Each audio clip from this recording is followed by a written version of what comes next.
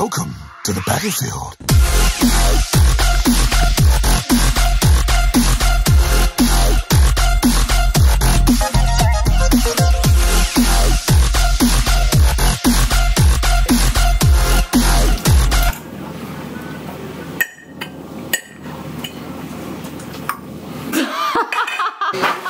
You are hilarious. How did you not see that coming? Let's talk about the RGB histogram.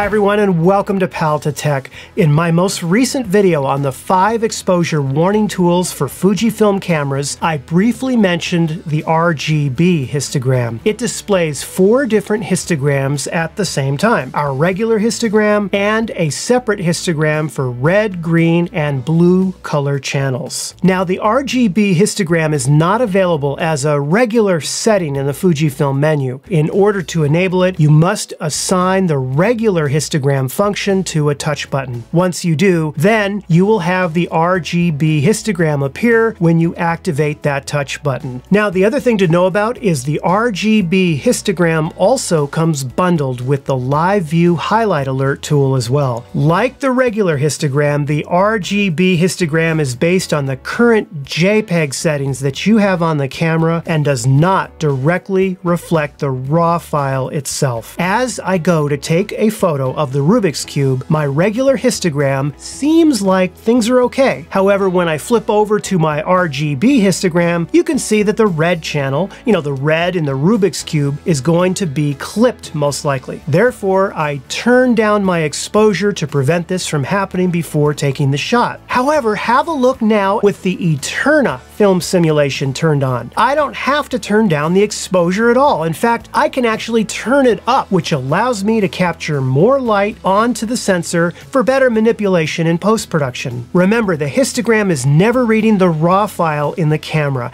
It's simply reading the JPEG preview. Or, in the case of playing back the image on the camera, and you have the camera set to both JPEG and RAW, it will read the full-size JPEG file. And because of that, your histogram may actually be over-representing any clipping that may be going on, particularly if you're using the RGB histogram for the color channels. Now there's a little method that I use when I'm shooting RAW files that I know are going to be processed later and I want my histogram to better match what the RAW file will be like when I bring it into Lightroom or Capture One. I call this the SHE method.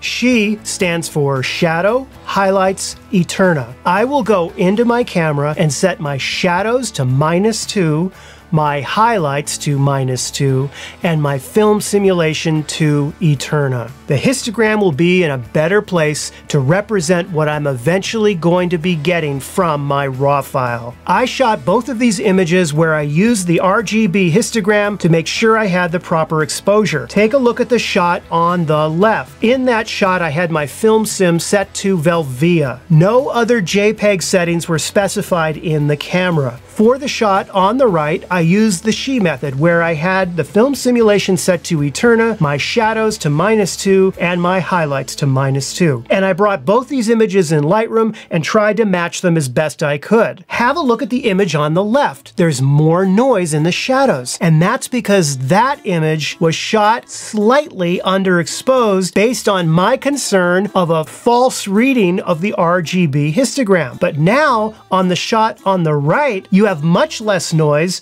it looks better, and that's because there was more light that eventually went into and hit the sensor, and as you can see, it is not as noisy. It looks better. Have a look at this right here. It's a slightly cleaner image because my histogram was not giving me that false positive clipping the red color channel because I had the histogram reading these SHE settings that better represented what the actual raw file was capable of. Now, some of you may already have a recipe formula that works for you to better enable your histogram to match your in-camera JPEGs. One additional setting that I would recommend that you consider as well would be to perhaps turn the color down to minus two, and that will sort of help flatten the image a little bit and even more closely resemble the RAW file. Feel free to share your recipes right down below in the comments as they can be so helpful for new photographers starting out, and we'd all be interested to see them. Well, I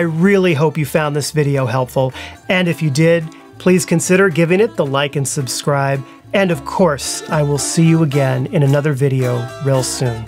Take care.